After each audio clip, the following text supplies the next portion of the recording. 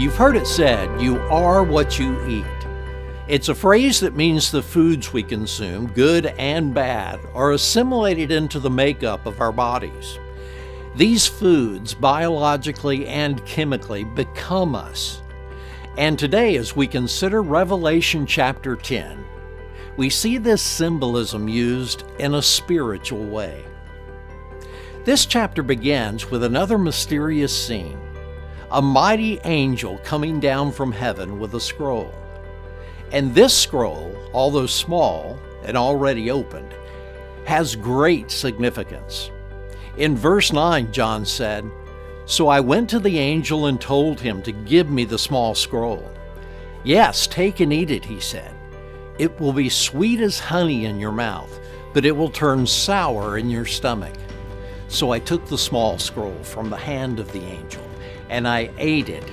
It was sweet in my mouth, but when I swallowed it, it turned sour in my stomach.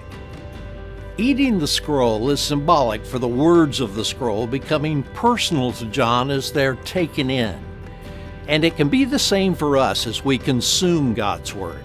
As we read or feed upon God's Word, it's sweet to the taste, often bringing comfort to our souls.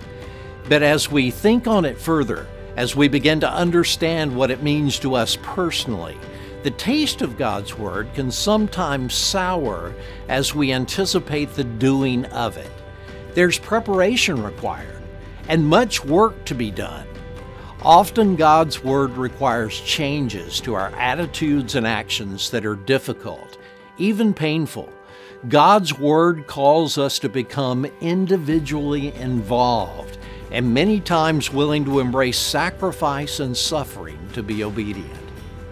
But take heart, it's all part of His plan, part of the sweetness that returns as we see the fulfillment of God's Word in our lives. And as His Word becomes us, we, as John did, have the great privilege of proclaiming the Word of God to those around us.